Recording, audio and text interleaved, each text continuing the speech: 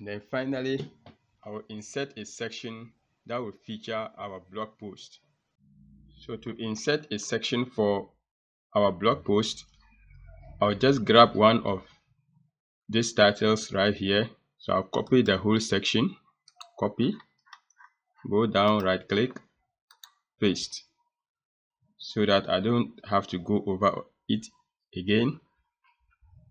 So I close this out, then I go to elements, then I search for blog, then I grab the premium blog, and I drop it right there. Awesome. Now on the number of columns, I make it three, then post per page, even though it is displaying three, but when we have more than three posts, the other one will appear down here and I don't want that so I'll make this three so that I'll always have three posts right here. And already I like the way everything is displayed. I like the hover animation. So you can explore the rest of these features here. If I go to post options I don't need comments. So I toggle it off from here. Comments is gone.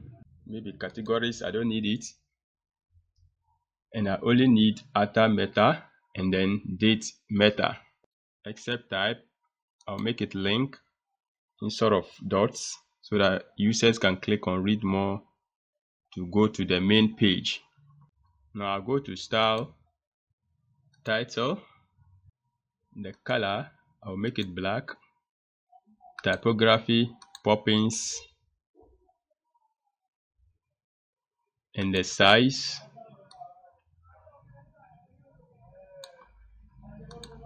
I'll make it sorry. I think 20 is cool. And then the hover color I make it the orange.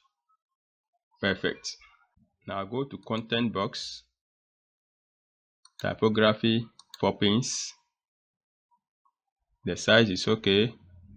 Color 2 is fine. I leave it as it is. Button I don't have any button in here I'll go to box.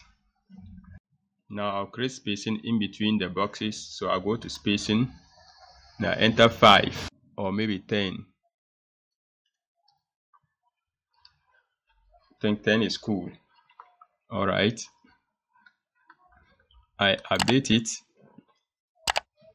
And that's it on how to add blog posts onto the homepage of our e-commerce website